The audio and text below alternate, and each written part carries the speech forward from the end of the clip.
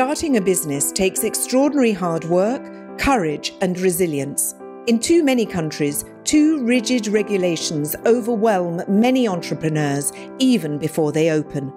And the COVID 19 pandemic is putting yet more pressure on the entire business community. One year into the crisis, many companies are in survival mode. Some 20% of businesses in developing countries are at risk of closing. Millions more are bankrupt. Oczywiście wszyscy mamy taką obawę, ale walczymy, nie poddajemy się i robimy wszystko, co tylko możliwe.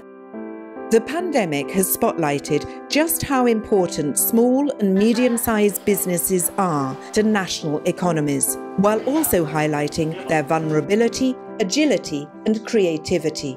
The International Organization of Employers reached out to some of these heroes to learn what motivates them, the challenges they face, and why even a pandemic will not stop them.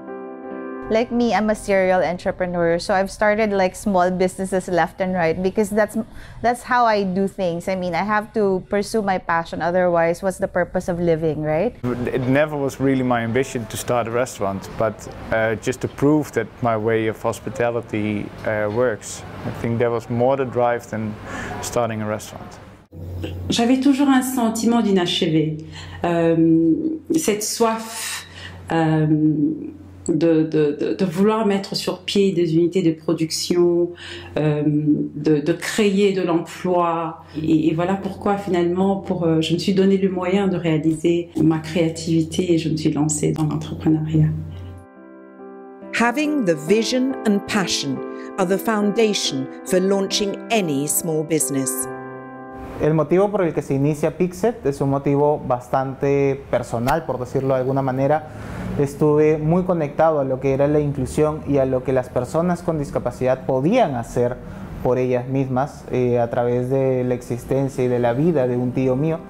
But the challenges of transforming that idea into reality can deter even the most determined individual, especially if national policies fail to create an enabling environment for business. No, hay muchas regulaciones que impiden que una empresa crezca y ese es el, el, el, el freno que, que realmente eh, no nos deja avanzar, ¿no?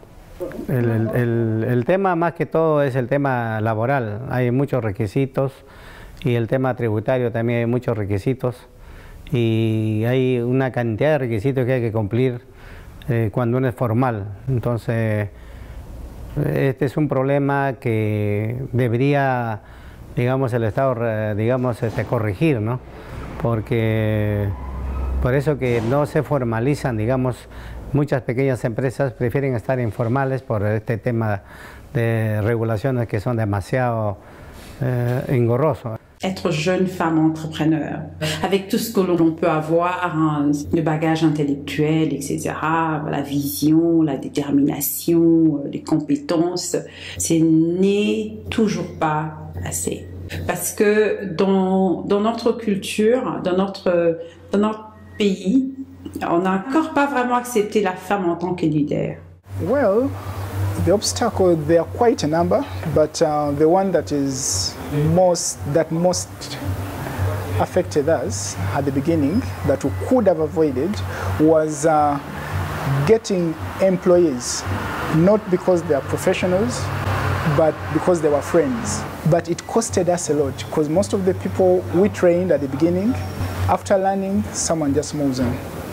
And once a business is launched, how are governments assisting them? Most politicians talk about the importance of small and medium sized businesses, but the goodwill fails to translate into concrete actions. Most of the implementers, they, they tend to ignore most of the startups. Yeah? And they only get to a startup they are benefiting from them. I wasn't supported by government. It was entirely a private move. And however, I had tried uh, writing proposals, but uh, they did not yield anything. So at the end of the day, I thought about uh, private execution. So entirely, there was no government support. Running your own business often means working day and night. How do owners maintain balance between professional demands and personal life?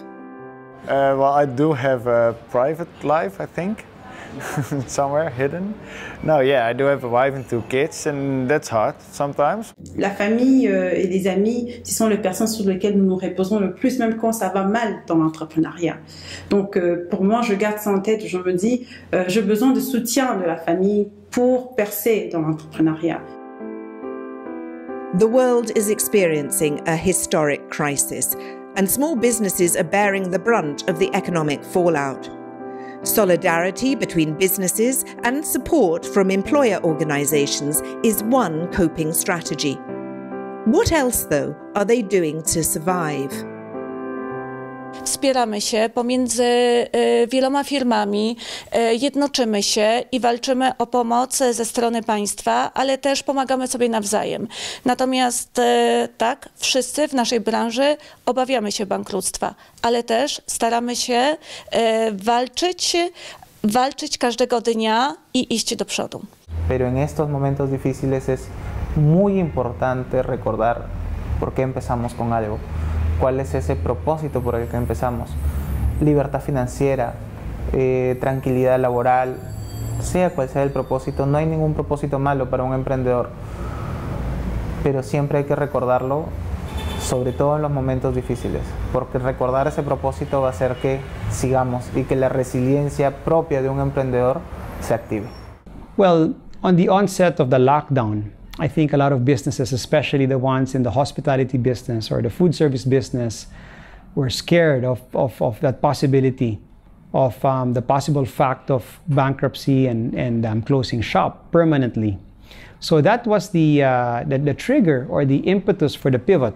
So the pivot was out of desperation because if we didn't do anything during the lockdown, would lead to a possible bankruptcy, as you as you mentioned, or closing of the business. So yes, there was a need to do something, and um, the frozen meals was a serendipitous uh, project that uh, brought about now a new line of, of business for us. On a peut-être dû se remettre un peu en question, se, se, se re-regarder, voir qu'est-ce qu'on ferait, comment repenser en fait notre façon de faire, de travailler, de réfléchir, d'agir et autres. There will never be decent jobs, inclusivity, and economic growth if governments do not do more to protect and support entrepreneurship, especially during the COVID crisis. Now is the time to ask our political leaders how they're helping these business heroes.